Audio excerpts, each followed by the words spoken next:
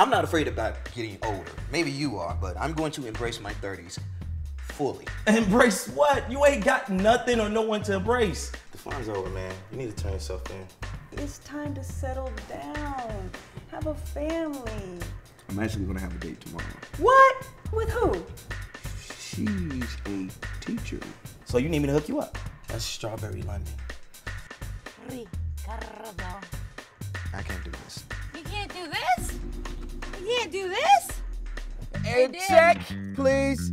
Listen, man, I'm not going to date a stripper. I don't judge. Everybody got a story. I got a story. You ever had honey dripping off your chest for another man's pleasure? Don't judge me, but Blueberry Becky is the one for you. Trust me. One date, one date, one date. I need you to spend one night with my friend, please. Please. Bye, Jesse. I got a girl. She's perfect for you. What does she do? Whatever you do, you do not tell him that you're an escort. You are an after school counselor, okay? 30 30. She was perfect. As a matter of fact, we have a lot in common. You say what? This just isn't where I picture my life.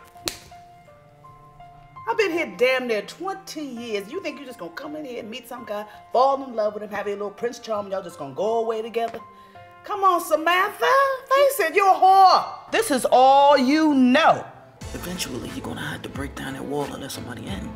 I am not good enough for you, okay? You have your whole life figured out and I'm still lost. Are you out of your damn mind? I can't walk away. Oh my God. He's never gonna take you serious. You're an escort. So what now? A friend once told me that we may not like what's going on and we may not understand it, but either way, it happens for a reason. So what's missing from this semi-perfect puzzle of yours? Gonna share it all.